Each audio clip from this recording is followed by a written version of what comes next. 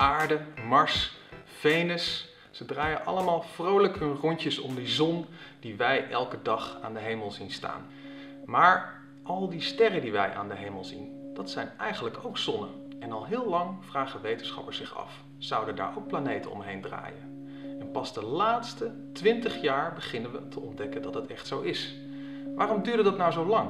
Dat komt omdat als je door een telescoop naar zo'n ster kijkt, dan word je eigenlijk verblind door het licht van zo'n ster. Alleen op het moment dat er een heel klein planeetje voorlangs gaat, dan wordt die lichtintensiteit een heel klein beetje minder. Dan gaat hij even van heel fel naar weer wat minder fel, naar fel, naar weer wat minder fel.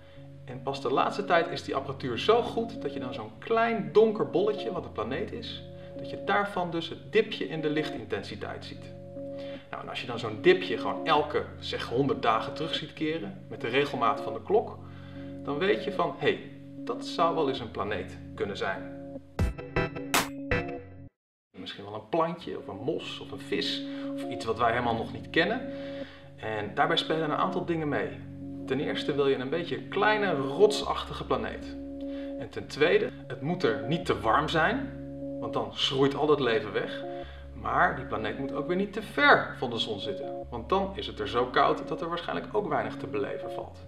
Dus die wetenschappers zijn op zoek naar planeten die precies een beetje op een comfortabele afstand van hun zon zitten. Net als wij hier op de aarde.